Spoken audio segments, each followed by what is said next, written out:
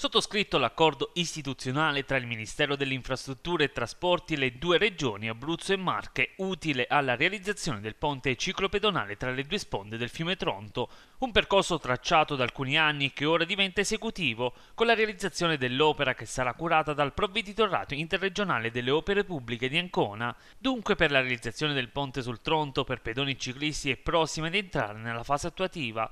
Per l'inizio dei lavori bisognerà attendere ancora il completamento dello studio di fattibilità e della progettazione definitiva. Abbiamo firmato la convenzione con il provveditorato alle opere pubbliche di Ancona per la progettazione e la fase esecutiva della realizzazione del ponte ciclopedonale sul Tronto, un investimento di 2 milioni e 200 mila euro, 1 milione e 100 per quanto riguarda Regione Abruzzo, 1 milione e 100 Regione Marche, un accordo fondamentale grazie alla collaborazione di tanti, delle amministrazioni comunali di Martinsicuro e San Benedetto, delle due amministrazioni provinciali, ma soprattutto con Regione Marche. Voglio ringraziare il vicepresidente Anna Casini con la quale abbiamo collaborato con concretezza in questi anni, a partire dall'area di crisi complessa e soprattutto per quanto riguarda il ponte ciclopedonale sul Tronto. Nei prossimi due anni quest'opera probabilmente sarà realizzata ma ci sono delle basi solide soprattutto gli stanziamenti e le risorse finanziarie necessarie. Abbiamo investito molto sulle ciclovie in questi anni lungo tutta la dorsale adriatica ma anche con eh, le piste a pettine verso l'interno lungo le aste fluviali in maniera particolare.